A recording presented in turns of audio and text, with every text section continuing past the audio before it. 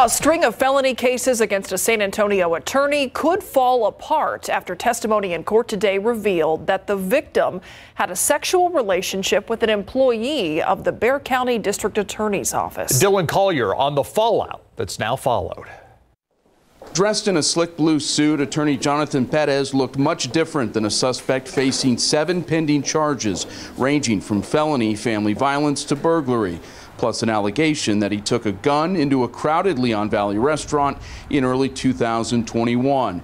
Repeated brushes with the law stemming from a troubled relationship. In a hearing late this afternoon, this man, Andrew Arabalo, revealed that he had an ongoing sexual relationship with Perez's alleged victim while he worked as a paid intern and legal researcher for the Bexar County District Attorney's Office. She had a case pitting against her ex boyfriend for whatever this is. And um, I go, whoa, you know, we stop. You can't really talk about that. Arabalo said he had no idea the woman had a case pending in the same division he worked for, but instead had randomly met her on Instagram.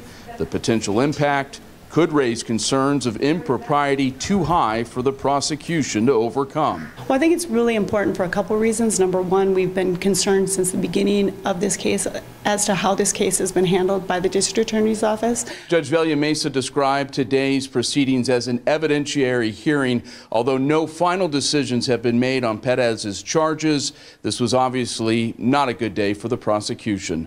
Reporting at the Bexar County Justice Center, Dillon Collier, KSAT 12 News.